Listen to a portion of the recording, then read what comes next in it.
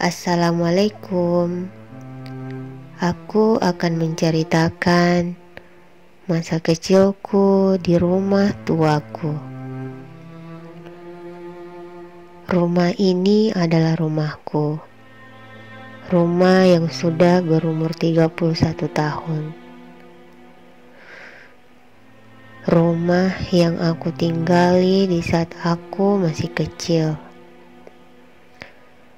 Aku anak tunggal. Aku tinggal bersama nenek dan kedua orang tuaku. Rumah yang berada di tengah desa, sebuah desa yang bernama Desa Batu Mila.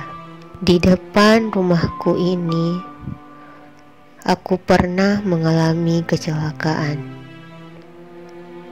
Aku ditabrak sama sepeda yang langsung menginjak tubuhku di bagian pinggang. Di depan rumah ini juga aku terjatuh dari sepeda, sehingga membuat bekas di tubuhku yang tidak akan pernah hilang. Dan di depan rumahku ini juga, teman masa kecilku tertabrak mobil hingga membuat tubuhnya terseret sampai 5 meter. Rumah ini juga menjadi saksi kecelakaan mobil truk yang menabrak setengah dari pagar rumahku yang membuat depan mobil ini benar-benar rusak pada bagian depan. Pohon mangga ini sudah ada sebelum rumahku dibangun. Pohon yang benar-benar sudah terlihat tua. Tempatku bermain ayunan, bermain rumah-rumahan, dan bersantai dengan teman-temanku. Pohon ini menjadi saksi masa kecilku.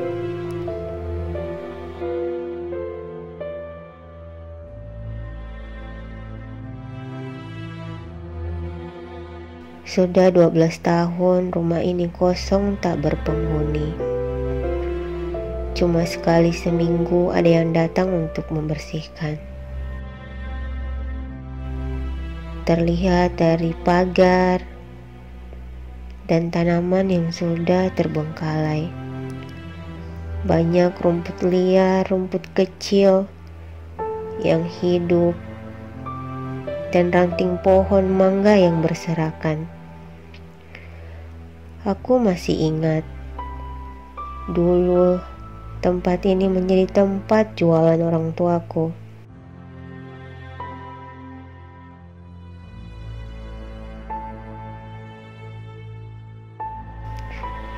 Kamar ini adalah kamar orang tuaku. Karena gempa, rumah ini mempunyai banyak keretakan di dinding, bahkan ada retakan di lantainya.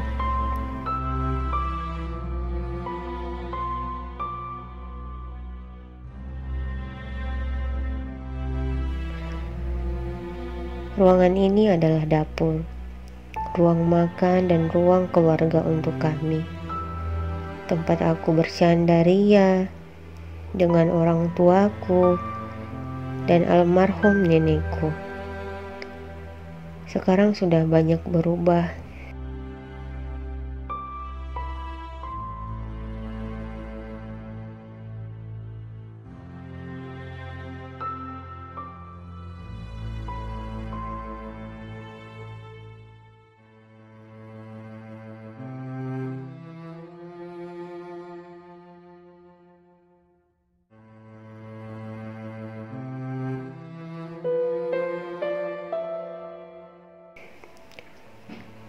kamar buat tamu.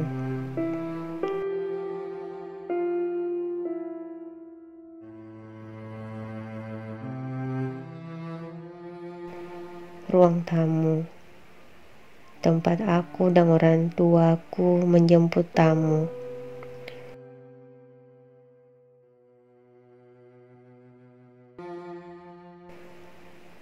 Tangga ini adalah tangga untuk menuju lantai kedua rumahku.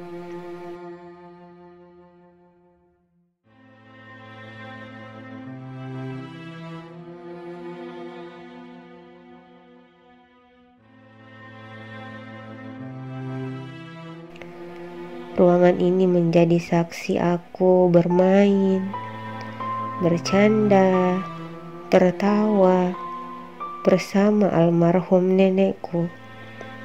Nenek yang benar-benar menyayangiku, selalu ada untukku. Kapan pun aku tidak pernah merasa kesepian karena keberadaan nenekku.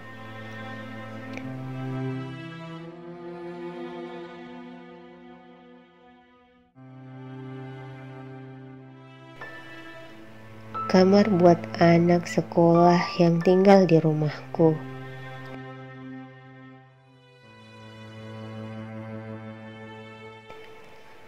Ranjang dan kamar mandi almarhum nenekku.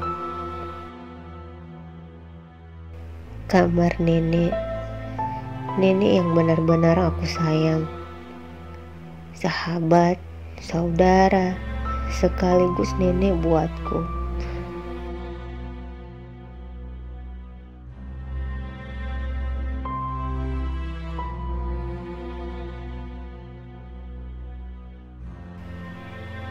Kamarku, kamar yang aku huni, kamar yang aku huni sampai aku beranjak dewasa. Ruangan untuk menjemput teman-teman mama. Ruangan aku bermain dengan boneka-boneka masa kecilku.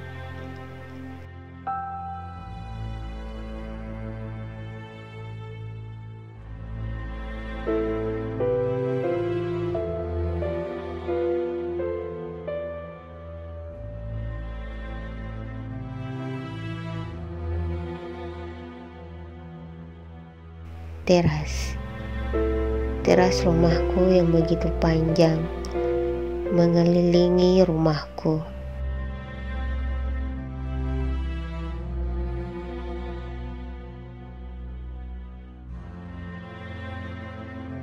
Terdapat sebuah tangga kecil untuk ke lantai tiga. Di teras inilah aku menjemur baju SMA aku baju sehari-hari aku. Tempat aku melihat rumah-rumah di dekat rumahku.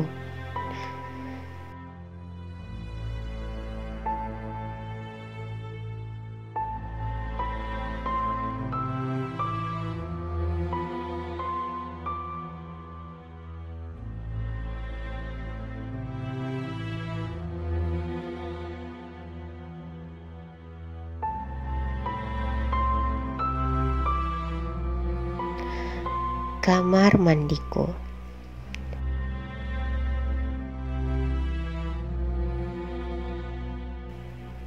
Aku sering bertanya sama mama, kenapa mama membangun sebuah rumah begitu besar, padahal mama cuma memiliki satu anak.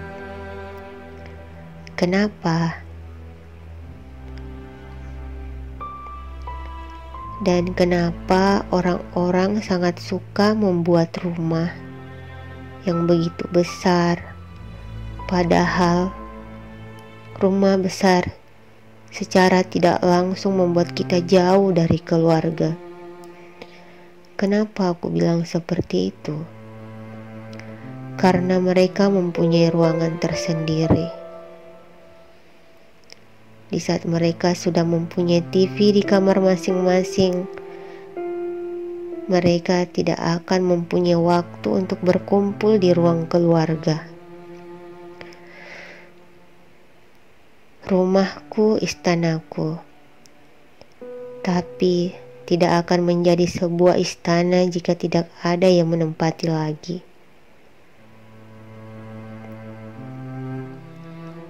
Hanya ada kumbang, kecoa, tikus yang bisa hidup di dalam rumah. Rumahku, rumah masa kecilku, aku ingin merawatmu sampai akhir hidupku.